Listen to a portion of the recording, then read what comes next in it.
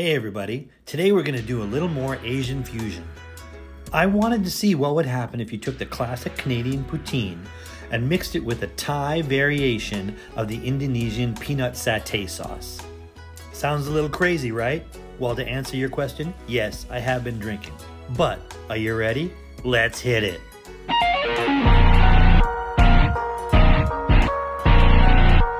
I gave Chef Mike the night off for this one so it's just going to be me and a single burner.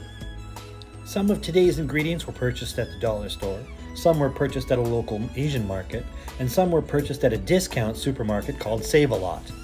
I'm going to put the recipe up on screen so you can pause it and see what we're doing. Otherwise, we're going to jump right in.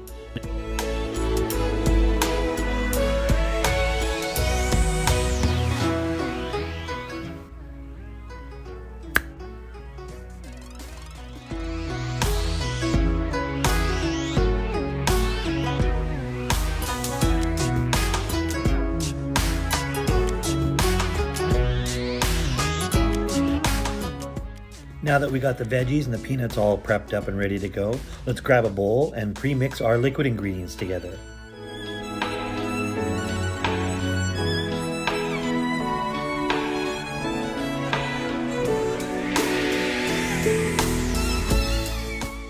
Here's what the sauce mise en place looks like.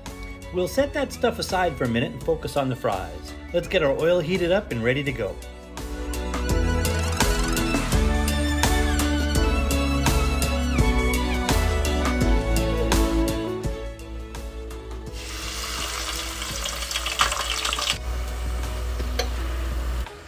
Time to take them out of the oil and let them drain for a second. Put them on a plate lined with paper towel. Season with grill spice. Round two.